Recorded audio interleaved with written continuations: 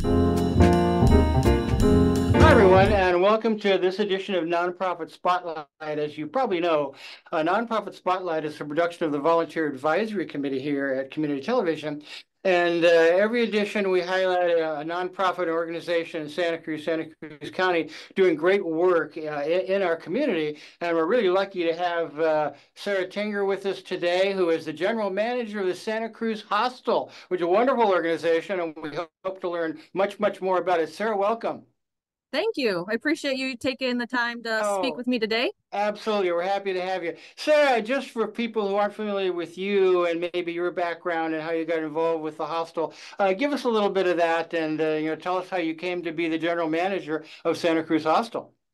Yeah, well, I feel very fortunate. Um, I came out this way from Nashville, Tennessee. I've been here um, almost, it'll be three years in September.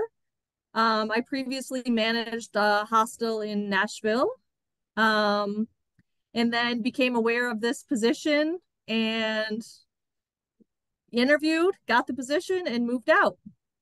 That's terrific. I looked, to spent some time uh, looking at your website. It's fantastic, really informative, and looked at your board of directors. Very impressive. Some folks that I know, but uh, uh, tell us more about uh, uh, the Santa Cruz Hostel itself. Uh, you know how people can access that. Kind of, kind of what you're doing today to welcome people into the community and uh, have them give them a place to stay.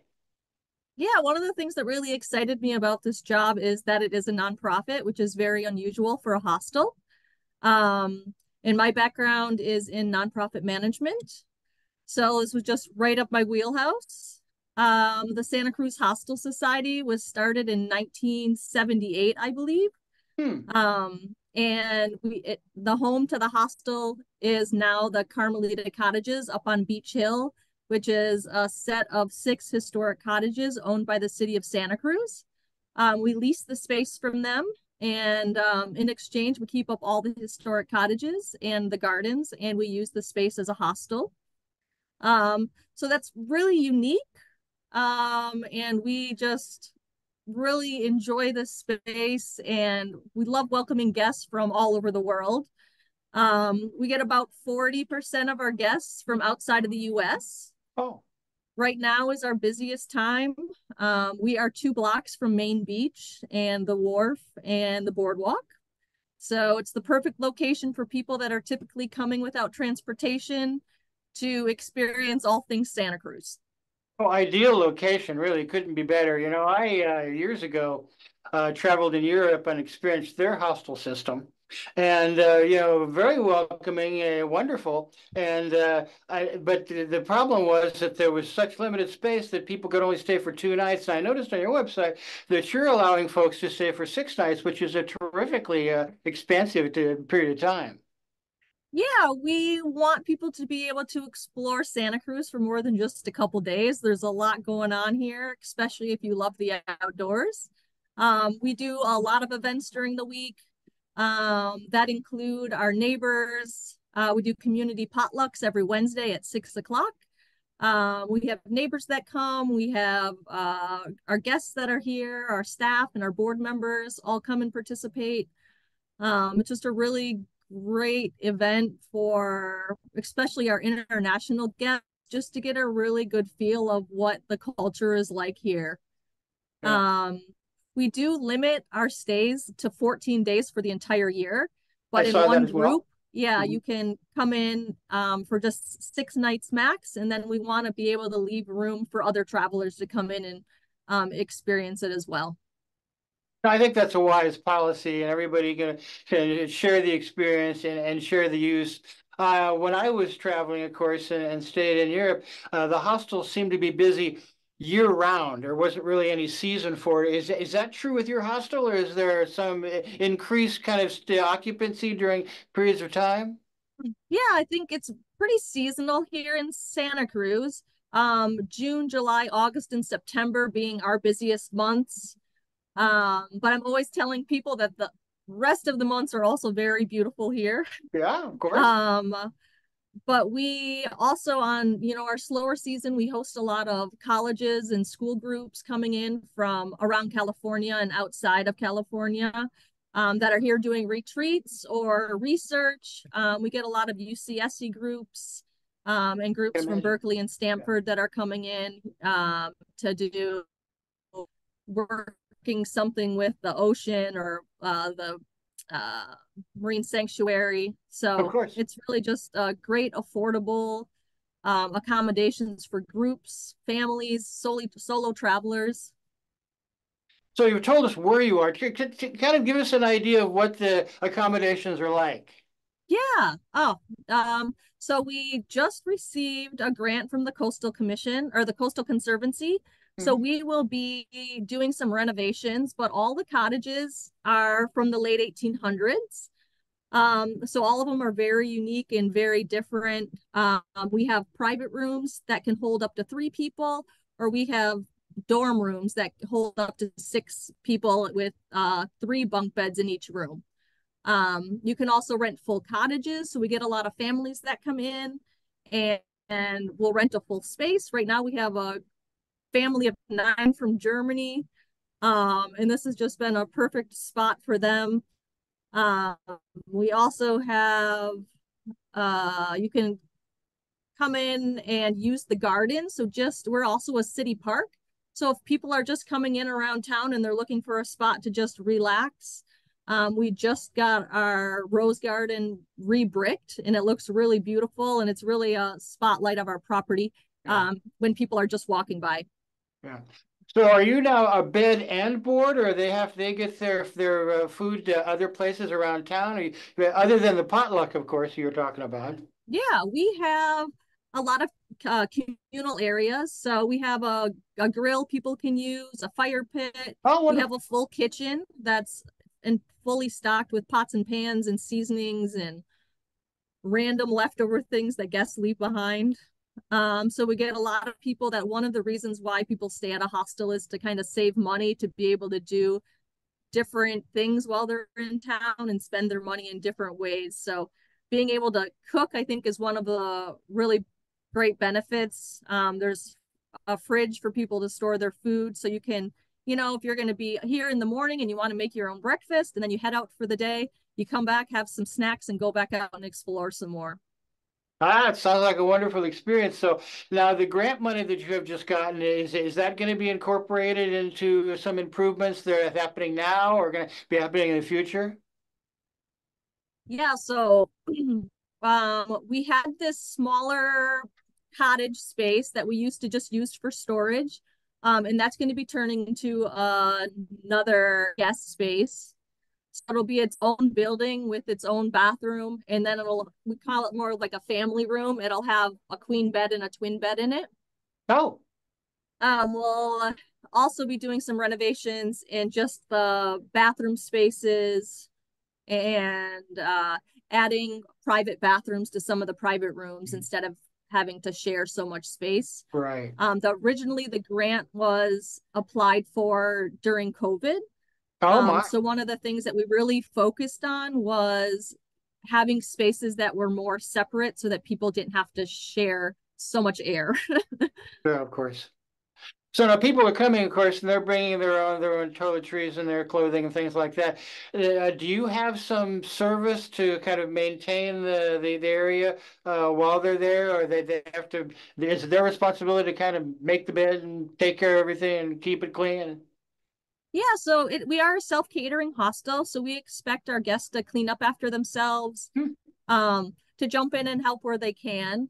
At the end of your stay, you bring your linens to the laundry for us. Um, but we do all the cleaning and um, the making of the beds. All linens oh, are really? provided. Um, we have a lot of leftover toiletries from past guests. So if people are coming in without shampoos and conditioners, there's a whole drawer filled with different things. Um, we try and make just feel as welcoming as possible.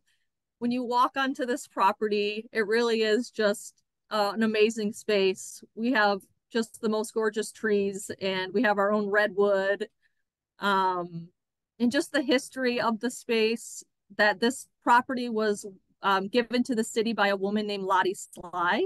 Hmm. And um, she had been the most recent owner of the property, which I could go on and on about her. because she has a really interesting history in the property itself.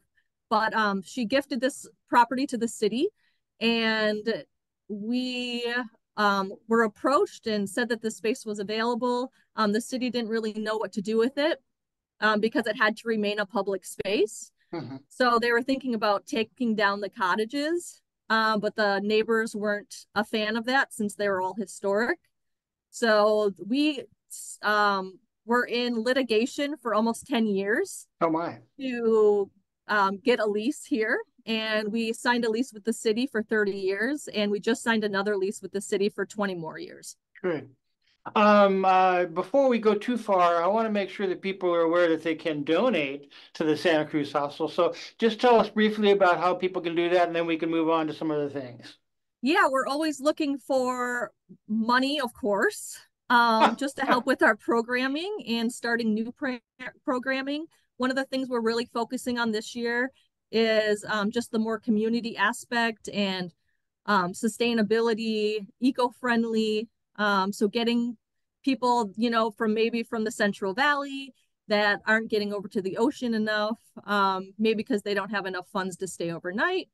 Um, so just making those uh, making those funds available for people to be able to enjoy Santa Cruz like so many people do. Um, so you can go onto our website, um, we do have a link to donate there. We also have a list of items that we're in need of, um, which is just always kind of a rolling uh, list of things that we need.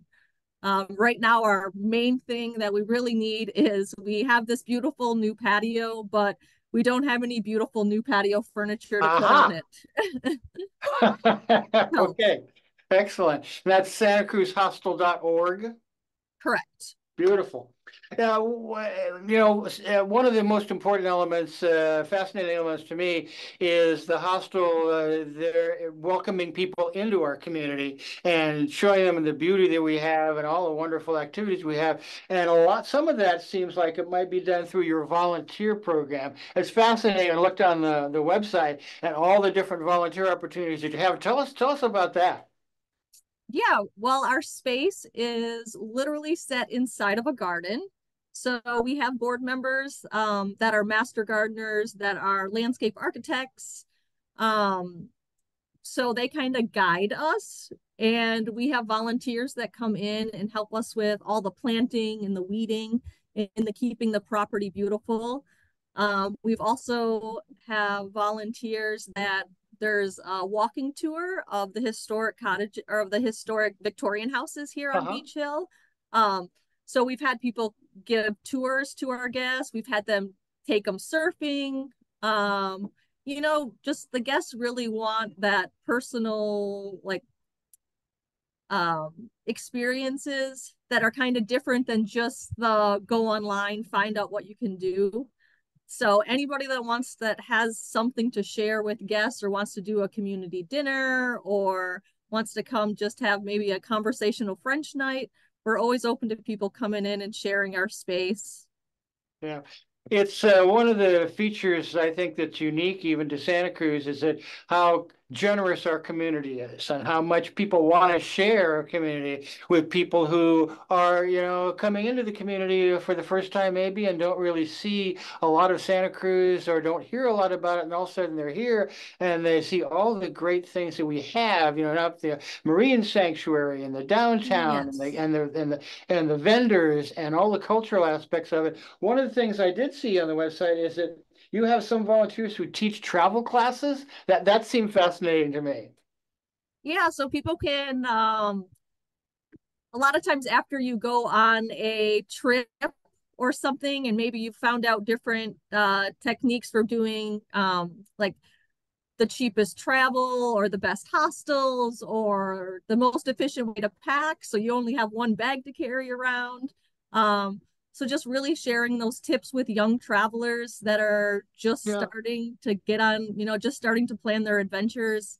Mm-hmm. Um, teaching youth that hostels are here in America. I think yeah. that a lot of people do not know that they even exist here. We have a lot of first time hostelers um, that didn't even know what a hostel was. They more stumbled upon us because I think we're the most affordable option in Santa Cruz. Of course, yeah. Um, so sometimes people pick us only for that reason, but then they come in and they really feel embraced by our staff and by the people that live in the area.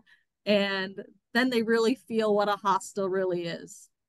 Do you, uh, uh, as administrators, uh, do you network with other hostels? So if somebody's staying with you and they say, "Hey, I want to stay at another hostel and I'm going uh, up north or down south, something," you have an opportunity to give them some information that you would have readily at hand.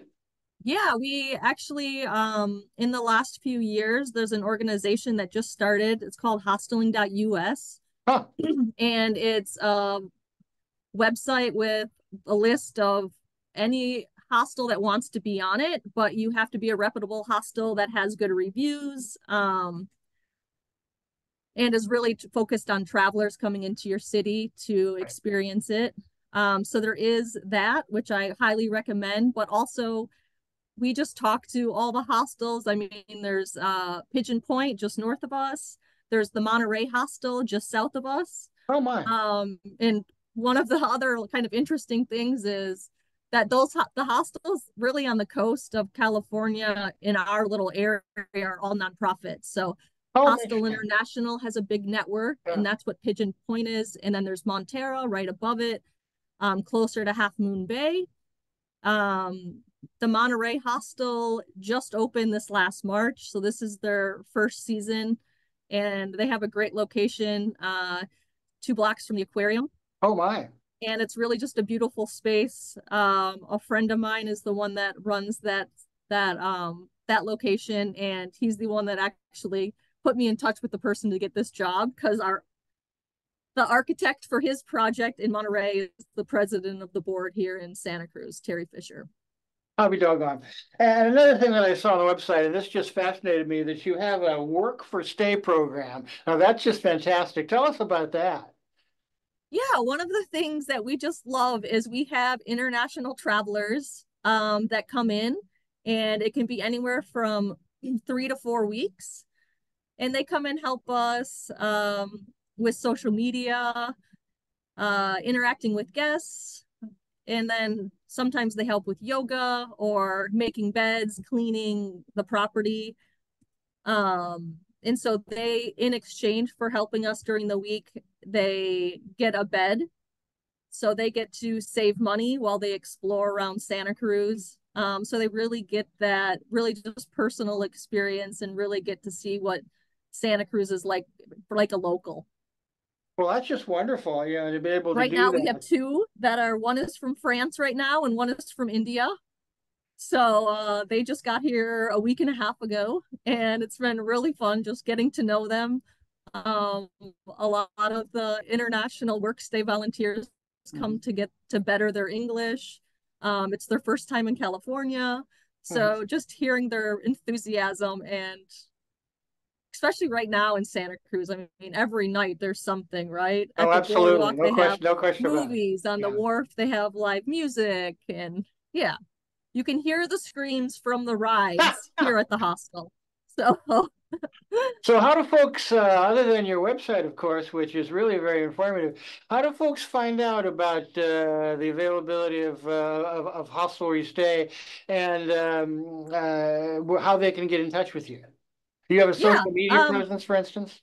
We do. Yeah, we are on Instagram and Facebook. On Instagram, you can find us. Uh, it's the Santa Cruz Hostel. Um, and we really keep up on that a lot on our stories. We share weekly things that are going on here in Santa Cruz um, so that guests can kind of plan their week while they're here. Um, and our website has a ton of information, and we love people that want to book directly on our website instead of using third parties like Airbnb or Booking.com. Mm-hmm. Now, are you uh, you're talking about the cultural outings that I saw in your volunteer kind of section of the website.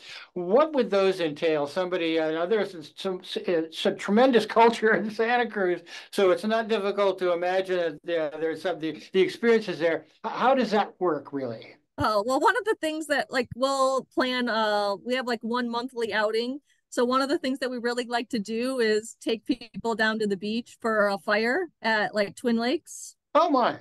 Yeah. So that's really just a unique thing that I think if you're not staying at a hostel or if you're um don't have a lot of time to maybe uh plan something like that, we have everything down there for you. Uh we have the wood and everything and provide all the stuff. Um, on Saturdays, we also do beach days. So we have a shade tent down at Main Beach. So it has one area where all the guests can kind of congregate and chat with each other.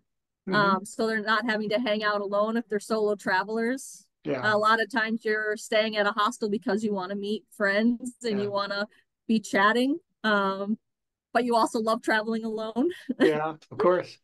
Other than the beach, of course, and the Monterey Bay Marine Sanctuary. Right is, is oh, there an the attraction? Redwoods. yeah, there you go. Yeah, the redwoods. A lot of mountain biking. Oh, really? Um, surf excursions. Um, now, I always take people boogie boarding. oh, for goodness sakes! That paddle boarding. I mean, just you know, so many fun things. Now, how do you hook folks up with if they want to go biking or they want to get some surf lessons or they want to get a boogie board? Uh, you you have some connections with those folks who provide those services or a little bit of you know rudimentary training so they can stand up on the board when they get out there. Right. Yeah. I uh, well, when I first moved here, I was really interested in getting to learn to surf and um, one of the people that I ran into at one of the community events was Ed from Club Ed.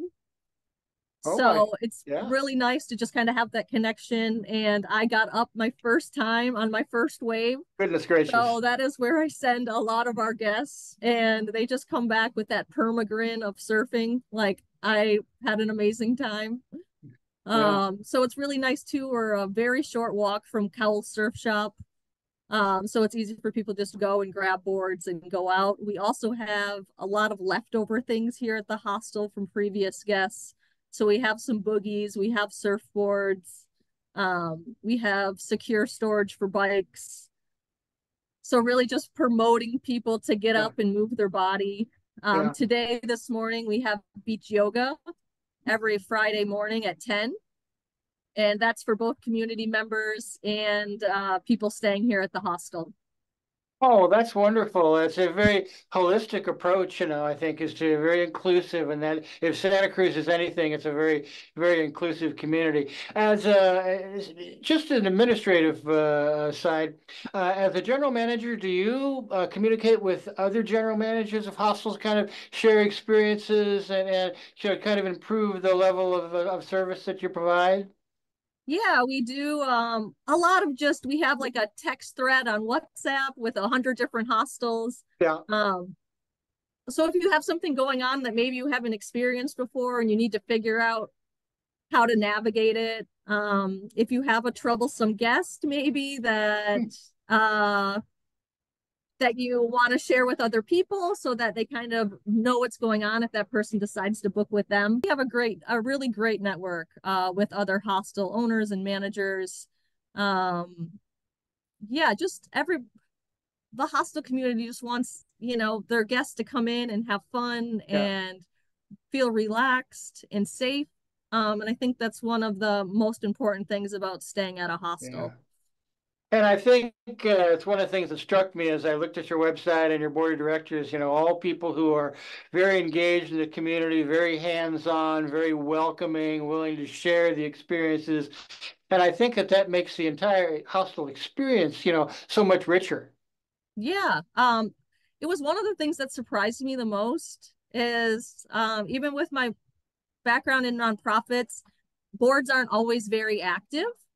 And the board here at the Santa Cruz Hostel is very active. They stop in, they participate in event in events. Um, they're always sharing about us. They invite guests on different things that they're doing, whether they're part of a running club or um, are taking a group to UCSC to look at the flowers. Uh, yeah, it just is amazing to me how open people are to share their time. And I'm happy that you mentioned actually uh, UCSC. Often, you know, uh, a, a, forgotten part of, of, Santa Cruz, and people think about the Marine Sanctuary and the boardwalk in downtown and the artists and vendors. They forget, you know, that the attractions that we have at a wonderful university and a yes. beautiful setting, you know. Yeah, the gardens there are amazing. And with those B cycle bikes, we have a spot just down the road oh, from Oh, do us. you? So you can grab a B cycle, head out to UCSC, grab a B cycle, head to Capitola. Um, it's that's one thing that our guests definitely uh take advantage of. Yeah. Is the bike the bike ability here in Santa Cruz. Of course, yeah. And how now, uh, you have uh, uh, foreign guests that come in and may not be familiar with uh, how the B-cycle technology works. Are you able to help them a little bit, kind of, you know, navigate, yeah. navigate the mysteries of how to actually of those things? yeah, we actually our guests are all ages, um, from 18 up to 85. Uh, we really have guests that just just from all over the world and all different backgrounds and some people that are here trying to figure out their life some people that are here that are finally have time in their life to explore the things that they've wanted to um, so it's a lot of fun just being in this environment and hearing everybody's stories. And that's one thing that I really like about this smaller hostel. It's only 42 beds here. Mm-hmm. Um, is that you really know each guest by name. You talk to them, you see them, you when you check them in, you remember them, you know what they like to do while they're here. Um, so yeah, it's really just a perfect size and just a lot of fun. Yeah.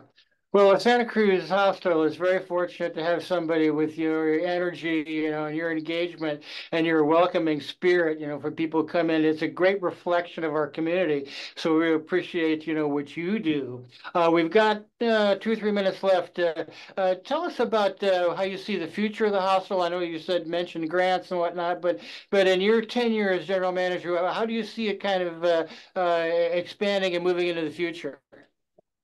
Um, yeah, I see us really expanding our programming, um, working a lot more on fundraising. Um, one of the things that I started when I got here was an annual event called the Beach Hill Bash. And the Beach Hill Bash this year is October 26th. Um, the Joint Chiefs come in and play in oh the parking lot. Any final thoughts for us? If you are here in Santa Cruz, stop in and see us, share about us. Um, I think if you walk onto this property, you'll just be amazed at uh, the feeling that you get when you come in here. Uh, thanks again, everyone, for being with us and for Sara. Uh, again, uh, Sara Tinger, the general manager of Santa Cruz Hostel, santacruzhostel.org. If you have some uh, extra cash you'd like to contribute to them, or the volunteer programs we mentioned, which is just, you know, such a great opportunity for people in the community to come in and engage and enjoy. Uh, this has been Nonprofit Spotlight, of course, and we'll have another program soon highlighting another great organization like the Santa Cruz Hostel, who makes Santa Cruz the great experience and wonderful community that it is. Sara, this has been Steve Plaich uh, for Community TV and the Volunteer Advisory Committee, and we will see you next time.